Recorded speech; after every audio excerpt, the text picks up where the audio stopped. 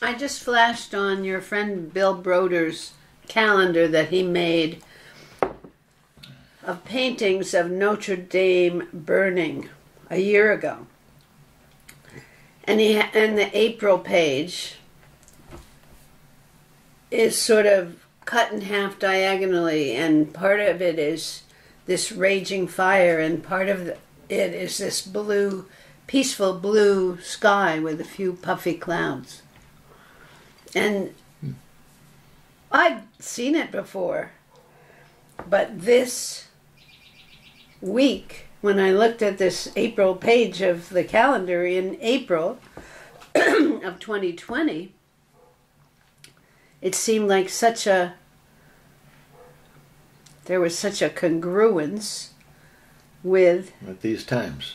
with these times in some ways we have this beautiful quiet spring but we know there's this pandemic raging around the world and people are struggling financially and physically to breathe and so on. So it may be peaceful to us but on the other hand we have this undercurrent of anxiety.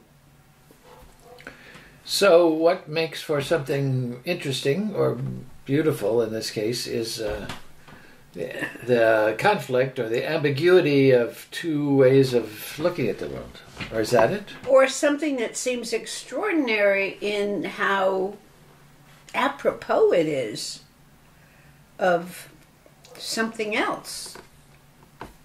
In apropos of the now, Sort of a metaphor for even though rea- reality. he was doing it to commemorate something that happened a year ago in another part of the world with no idea how much it might say about this this April.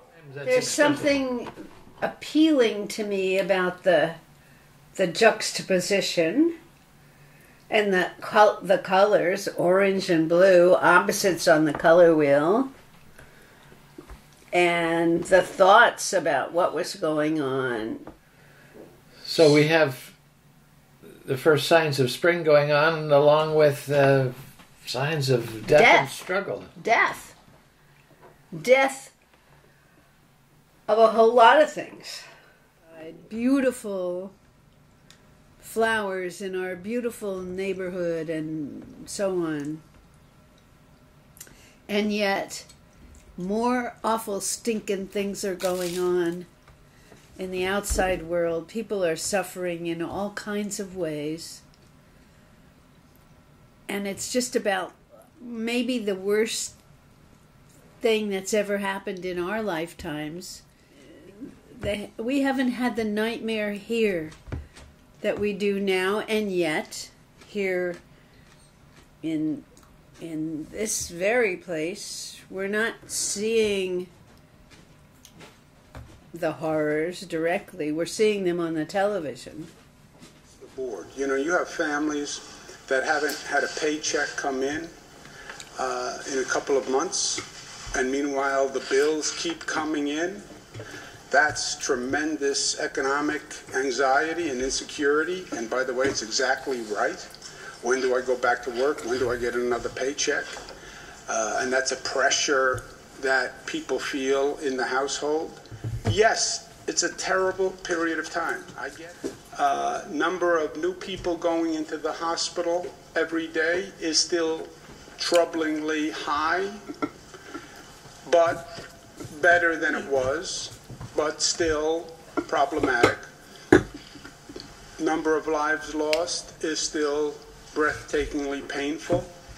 And the worst news that I have to deliver every day, and the worst news that I've ever had to deal with as governor of New York,